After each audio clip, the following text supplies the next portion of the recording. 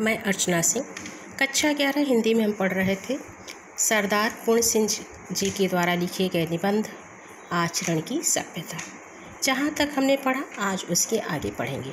बर्फ़ का दुपट्टा बांधी हुई हिमालय, इस समय तो अति सुंदर, अति ऊँचा और अति गौरवान्वित मालूम होता है। परंतु प्रकृति ने अगणित शताब्दियों के परिश्रम से रेत का एक एक परमाणु समुद्र के जल में डुबो डुबो कर और उनको अपनी विविध हथौड़े से सुडौल करके इस हिमालय के दर्शन कराए हैं।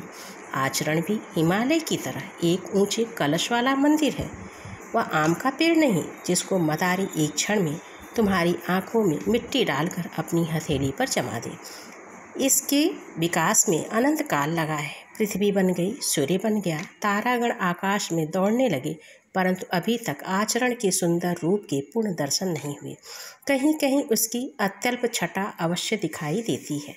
लेखक सरदारपुर सिंह जी कह रहे हैं कि जो हमारे भारत देश के उत्तर में हिमालय पर्वत दिखाई देता है, जो कि हमें, हमारे गौरव का प्रतीक है, वह हिमालय पर्वत एक दिन में नहीं बना।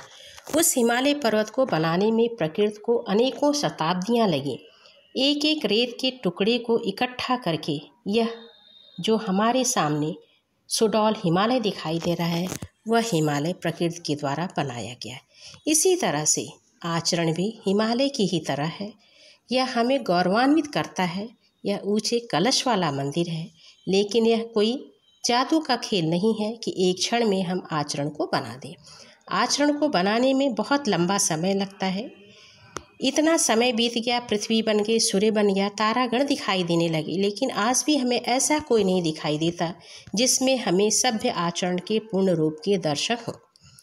आचरण की सभ्यता के कुछ कुछ रूप ही हमें दिखाई देते हैं, बहुत छोटा सा रूप हमें दिखाई देता है। आगे लेखक क्या कहते हैं?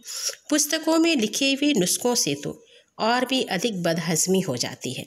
सारे वेद और शास्त्र भी यदि खोल करके पी लिए जाएँ तो भी आदर्श आचरण की प्राप्ति नहीं होती। आचरण प्राप्ति की इच्छा रखने वाले को तर्क वितर्क से कुछ भी हासिल नहीं होता। शब्द और वाणी तो साधारण जीवन के चूचले हैं।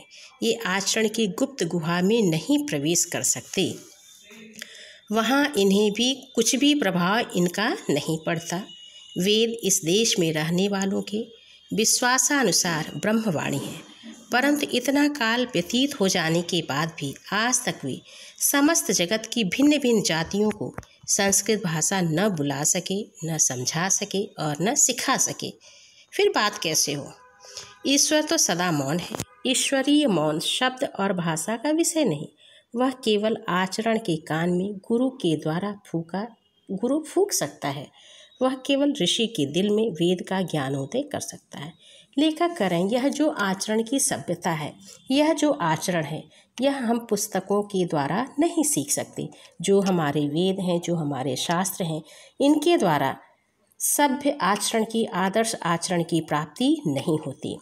आदर्श आचरण प्राप्त करने के लिए शब्दों की, नुस्खों की, वाणी की किसी चीज़ की आवश्यकता नहीं होती है। इस जो हमारे वेद शास्त्र हैं, इसे हम अपने विश्वास के अनुसार ब्रह्म की वाणी मानते हैं और ये हमारे वेद शास्त्र संस्कृत भाषा में लिखे गए हैं। जब ये ब्रह्मवाणी हैं और इतना समय व्यतीत हो गया, फिर भी आज तक जब हम संस्कृत भाषा को न समझ सके, न बोल सके, न सिखा सके तो फिर क्या इनके द्वारा सभ्य आचरण को प्राप्त किया जा सकता है? तो क्या इनके द्वारा आदर्श आचरण की प्राप्ति हो सकती है? नहीं हो सकती है। लेखक क्या कहते हैं? किसी का आचरण वायु के झोंके से हिल जाए तो हिल जाए, परंतु साहित्य और शब्द की गोलंदाजी, आंधी उसके सिर के एक बाल तक का बांका न होना एक साधारण बात है। पुष्प की कोमल पंखुड़ी के स्पर्श से किसी को रोमांच हो जाए जल की शीतलता से क्रोध और विषय वासना शांत हो जाए। बर्फ़ के दर्शन से पवित्रता आ जाए। सूर्य की ज्योति से नेत्र खुल जाए, परंतु अंग्रेज़ी भाषा का ज्ञान। व्याख्यान चाहे वह कारलायल ही का लिखा हो, क्यों न हो, बनारस के लिए राम रोला ही है। लेखक क्या कहते हैं कि आचरण को कोई हिला ले, लेकिन जो साहित्य और शब्द, साहित्य में जो लिखा गया है, उसे कोई हिला नहीं सकता है।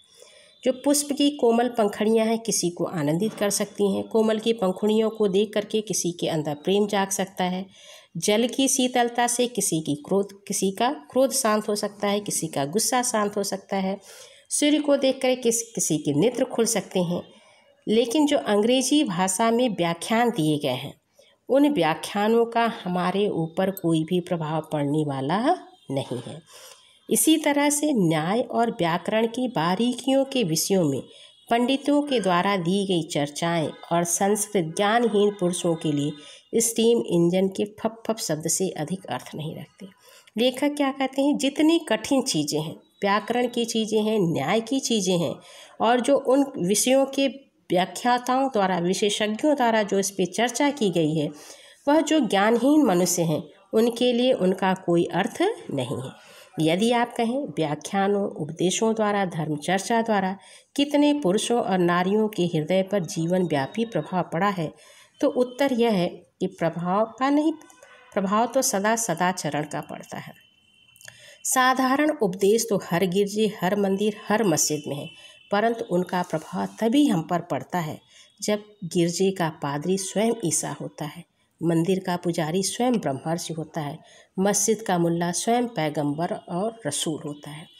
लेखक क्या कहते हैं? जो धर्म चर्चा की जाती है, जो उपदेश दिए जाते हैं, उन उपदेशों का प्रभाव किसी भी पुरुष या किसी भी नारी के ऊपर उतना व्यापक नहीं पड़ता है। जब उपदेश देने वाला, धर्म चर्चा करने वाला स्वयं उस उपदेश को अपने अंदर उतारे, तब उसका प्रभाव हमारे ऊपर पड़ता है। यदि मंदिर का पुजारी वास्तव में सच्चा पुजारी हो, गिरजे घर का पादरी स्वयं ईसा मसीह की तरह आचरण वाला हो, मस्जिद का मुल्ला स्वयं पैगंबर और रसूल हो, तभी उसका प्रभाव हमारे ऊपर पड़ता है। अन्यथा उपदेश और धर्म चर्चा के द्वारा हमारे आचरण में किसी भी प्रकार का परिवर्तन नहीं आता। इसके आगे हम कल पढ़ेंगे। धन्यवाद।